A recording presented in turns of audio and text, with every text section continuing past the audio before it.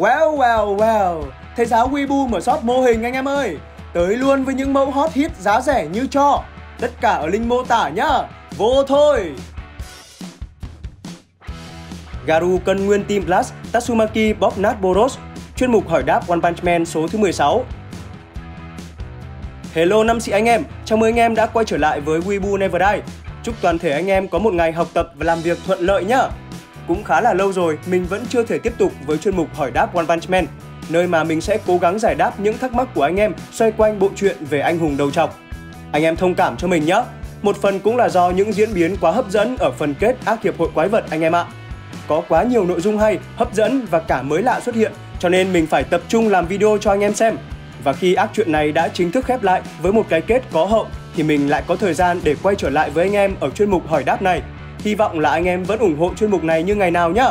Anh em nào muốn được giải đáp những thắc mắc về One Punch Man, cứ mạnh dạn đặt câu hỏi ở tab cộng đồng khi mình đăng bài lên nhá. Còn bây giờ thì đến luôn với chuyên mục hỏi đáp số thứ 16 thôi anh em. Let's go!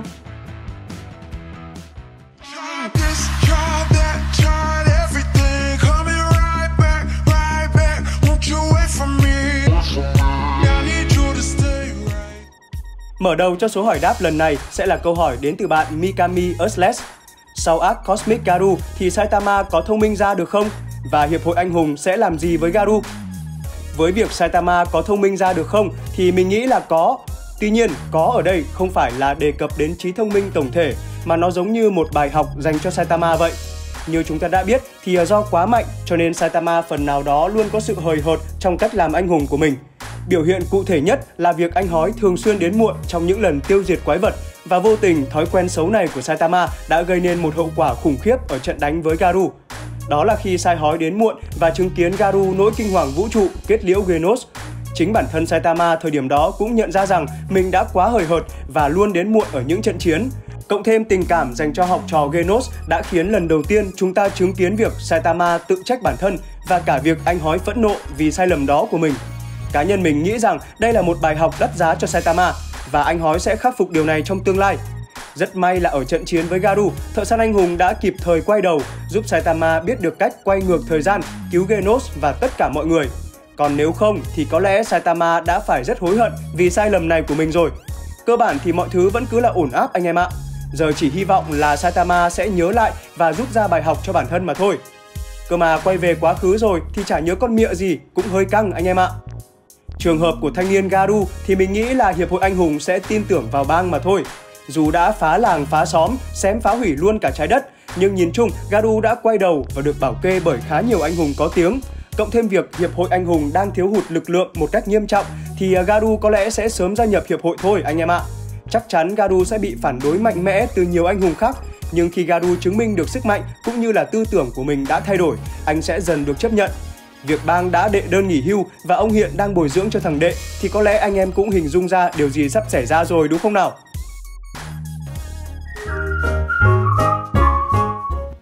Tiếp theo sẽ là hai câu hỏi của bạn BlogBGVN. Sức mạnh căn bản khi không hoặc chưa sao chép sức mạnh của các nhân vật khác, đặc biệt là Saitama của Garu. Đi solo với Boros ở trạng thái Ultimate thì ai thắng ạ? Chiếu pháo hoại tinh mà Boros dùng trong trận chiến với Sai, em nghĩ đó chỉ là toàn bộ năng lượng còn sót lại của Boros. Vậy nếu khi Boros còn phun sức mạnh và năng lượng như ban đầu, thì chiêu đó mạnh đến mức nào? Có mạnh hơn bức xạ tia gamma của Cosmic Garu không ạ? Ở câu hỏi đầu tiên của bạn, thì Garu với sức mạnh cơ bản không sao chép sức mạnh của các nhân vật khác. Có lẽ bạn đang đề cập đến trạng thái cao nhất của Garu với quá trình tiến hóa tự nhiên của mình. Chưa được nhận sức mạnh từ God. Nếu như thế thì cá nhân mình nghĩ Garu sẽ khó có thể solo được với Boros, trạng thái Ultimate. Dù cũng có thể tung đòn gây chấn động các mảng lục địa, xuyên thủng lớp phong ấn của Blast. Tuy nhiên, Boros ở dạng Ultimate thực sự là một con quái vật, thậm chí có thể đá văng được Saitama lên tận mặt trăng. Nên mình nghĩ kèo này xảy ra, Boros sẽ thắng. Nhưng đó sẽ là theo ngưỡng sức mạnh của hai nhân vật mà bạn định sẵn trong câu hỏi thôi. Còn với Garu phiên bản nỗi kinh hoàng vũ trụ thì mọi thứ sẽ khác hoàn toàn. Về chiêu pháo hoại tinh của Boros, mình nghĩ dù là sức mạnh còn sót lại hay là full sức mạnh thì nó vẫn đủ để thổi bay cả trái đất như lời Boros đã nói. Còn khi full sức mạnh như ban đầu sẽ ra sao thì cơ bản nó sẽ mạnh hơn thôi. Có thể là mạnh gấp 2 hoặc cũng có khi là gấp 5 lần. Nhưng điều đó gần như là vô nghĩa khi phải đối đầu với cú đấm nghiêm túc của Saitama.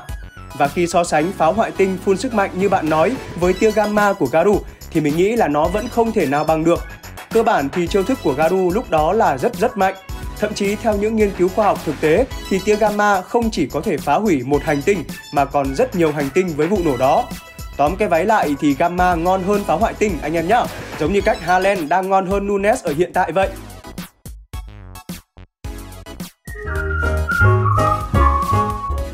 Câu hỏi của bạn Ad2K8 anh ơi, nếu Garu thực sự có thể sao chép toàn bộ sức mạnh của đối thủ, vậy liệu Garu có thể một mình cân Team Blast khi sao chép sức mạnh của Saitama và Team Blast không ạ? Mình nghĩ là không.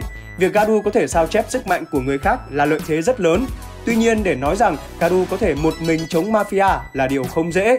Đặt trường hợp Garu sao chép sức mạnh của Team Blast để đâm nhau với nhóm này thì chưa chắc Garu đã có thể sao chép cùng một lúc tất cả sức mạnh của 9 thành viên nhóm Blast khả năng cao thợ săn anh hùng chỉ sao chép được từng người mà thôi.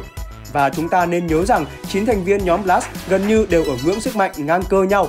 Ngoài ra, thực tế thì chưa chắc Garu đã thắng được Blast, bởi trong cuộc chiến đã xảy ra, Blast vẫn chưa thực sự bùng hết sức mạnh của mình, do anh lo ngại trái đất sẽ bị phá hủy. Nên tóm lại, mình không nghĩ là một mình Garu có thể thắng được nguyên team của Blast đâu. Trường hợp Garu sao chép sức mạnh của Saitama thì có lẽ anh chàng sẽ mạnh hơn, nhưng cũng vẫn chưa chắc là sẽ thắng được nhóm Blast Mặt khác, cái này còn tùy thuộc vào việc Saitama đang ở ngưỡng sức mạnh nào nữa. Bởi chúng ta đều biết sức mạnh của sai hói là vô hạn. Nói chung là ở hiện tại, sức mạnh của Team Blast vẫn còn rất bí ẩn, nên đừng vội quá hạ thấp sức mạnh của họ như vậy. Mình tin rằng để đối chọi lại được với một thực thể tối thượng như God trong xuyên suốt nhiều năm, Team Blast không phải là dạng vừa đâu anh em ạ.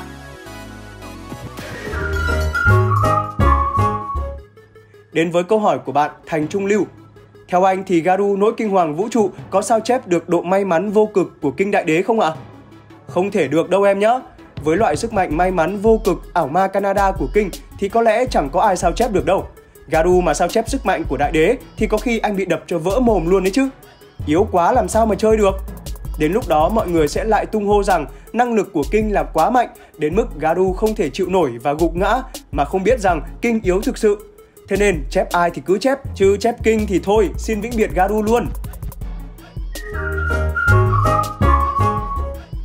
Bạn Quang Dâu đặt câu hỏi là Theo anh, nếu sai dùng 100% sức mạnh vào cú đấm có one hit được gót không? Với những gì đã được chứng kiến sau trận đấu giữa Sai Hói với Garu thì mình nghĩ là không. Sức mạnh của Saitama 100% là bao nhiêu thì chúng ta chưa thực sự biết được, nhưng mình tin rằng gót sẽ không tệ đến mức một đấm là đi đâu. Thực thể này với một phần sức mạnh trao cho Garu đã khiến Saitama sử dụng một ngưỡng sức mạnh chưa từng thấy khi đầy đủ sức mạnh. God sẽ còn đáng sợ hơn rất nhiều. Bản thân mình nghĩ là God có thể là một đối thủ giúp cho Saitama tìm lại cảm giác của một trận chiến thực sự, nơi mà anh hói sẽ bê bết máu, bị đấm tả tơi, không kém gì đối thủ. Lúc đó thì chúng ta mới biết hết ngưỡng sức mạnh vô cực của Saitama là như thế nào và God mạnh ra sao. Sẽ rất nhiều đấm với 100% sức mạnh được Saitama tung ra đấy anh em ạ chứ không chỉ là một đấm kết thúc nữa đâu.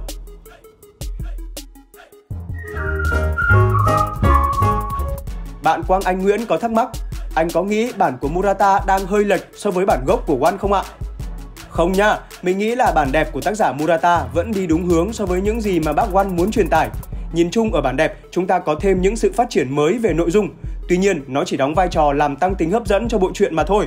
Tiêu biểu có thể kể đến những thông tin được phát triển thêm như trận đánh ngoài vũ trụ của Sai Hói và Garu, thông tin về đồng đội của Blast, sự can thiệp rõ ràng hơn của God, quy mô lực lượng lớn hơn của Hiệp hội Quái vật, ví như Orochi, Goketsu.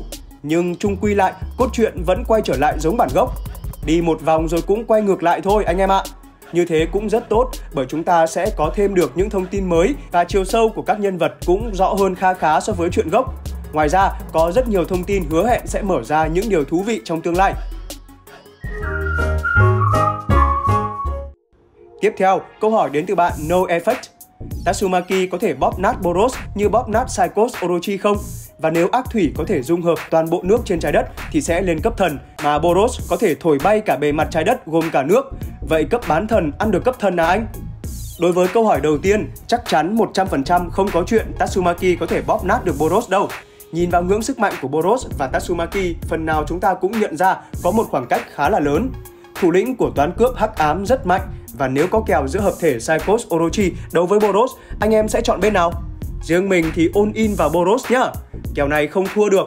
Mình nghĩ Tatsumaki vẫn có thể đánh được với Boros một thời gian nhất định, nhưng để bóp nát hay là chiến thắng là điều không thể. Câu hỏi thứ hai của bạn thì thực sự đây là một so sánh không hợp lý cho lắm. Đầu tiên, chúng ta nên biết rằng đánh giá cấp độ quái vật chỉ nằm ở mức độ phỏng đoán dựa theo một số tiêu chí nhất định mà thôi. Chẳng hạn như thiệt hại, quy mô ảnh hưởng do quái vật gây ra, vân vân. Nên việc Hiệp hội Anh hùng không đánh giá đúng cấp độ của một quái vật là điều thường xuyên xảy ra. Vì thế nên chúng ta không nên dựa vào những đánh giá chủ quan này để so sánh hai nhân vật. Ví như việc ác thủy dung hợp toàn bộ nước trên trái đất là cấp thần cũng chỉ là nhìn nhận cá nhân của Iron mà thôi. Chưa chắc tên quái vật đã làm được. Và thậm chí nếu làm được thì liệu ác thủy có còn đủ sức để điều khiển sức mạnh khổng lồ đó? Nên ý của mình là chúng ta nên nhìn vào những gì đã thể hiện của nhân vật đó để đánh giá sức mạnh của họ, chứ đừng đánh giá dựa trên những phỏng đoán về cấp độ quái vật của cá nhân hay là tập thể nào đó. Bản thân mình thì vẫn nghĩ cơ bản là Boros và Ác Thủy đều là những quái vật ở cấp bán thần. Song Boros ở một ngưỡng sức mạnh lớn hơn và hoàn toàn có thể đánh bại Ác Thủy.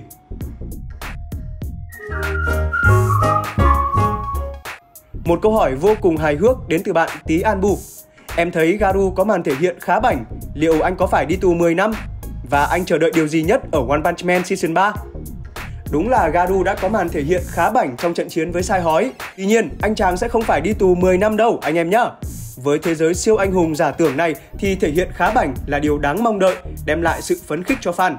Chưa như ở xã hội thật của chúng ta mà anh em cố gắng khá bảnh một phát là bóc lịch ngay và luôn đấy nhá. Và theo như trong chuyện thì Garu cũng không phải đi tù, anh đang được bổ túc thêm một khóa giáo dục công dân để sắp tới đi làm anh hùng kiếm cơm, đỡ phải nghĩ cách bán được 1 tỷ gói mè. Cuộc sống của anh em chúng ta quả thực là khó khăn đúng không nào? Về thông tin của anime season 3, tác giả đã chính thức xác nhận phim sẽ ra mắt trong thời gian tới. Thực sự có rất nhiều thứ đáng để mong đợi ở anime season 3 của One Punch Man. Tuy nhiên với cá nhân mình có hai điều mà mình chờ đợi nhất. Đầu tiên là hy vọng phim sẽ sớm ra mắt anh em ạ. Chờ lâu háo hức với mệt mỏi quá chừng. Có vẻ ích kỷ quá đúng không nào anh em? Thì mong muốn cá nhân là vậy mà. Thứ hai, mình thực sự hy vọng Season 3 sẽ cải thiện lại được mảng hoạt hình so với anime Season 2. Ở phần 1, One Punch Man đã vô cùng thành công ở khía cạnh này, nhờ đó truyền tải đến khán giả những khung hình chuyển động đỉnh cao, thể hiện được khí chất cũng như là sức mạnh của các nhân vật, độ hoành tráng của trận chiến, đặc biệt là Saitama. Chắc hẳn anh em vẫn còn nhớ phần cuối ở trận chiến giữa Saitama và Boros chứ? Khi Saitama quay lưng ra về và con tàu bắt đầu sụp đổ, đỉnh cao luôn anh em ạ. Tuy nhiên, hoạt hình ở Season 2 dường như thụt lùi thảm hại so với phần 1. Những nhân vật như Saitama, Goketsu cũng được vẽ một cách không đúng với kỳ vọng. Đây chỉ là một số nhỏ trong những thất vọng khác về khía cạnh hoạt hình của phim thôi. Và mình mong rằng studio nào thực hiện phần 3 này sẽ cải thiện được điều này. Dẫu biết rằng với những khung tranh do bác Murata vẽ ra, để thể hiện nó lên anime là thách thức không hề nhỏ với studio thầu bộ manga này, nhưng hy vọng là họ sẽ làm được. Ok, trên đây là toàn bộ nội dung của số hỏi đáp One Punch Man số thứ 16. Hy vọng là anh em sẽ thích video. Anh em nào mà chưa được giải đáp thắc mắc thì cũng đừng buồn nhá. Hãy đặt câu hỏi cho mình ở số hỏi đáp tiếp theo. Nhớ để lại cho mình một like, một sub ủng hộ cho mình nhé. Còn bây giờ, xin chào và hẹn gặp lại anh em ở những video tiếp theo. Bye bye!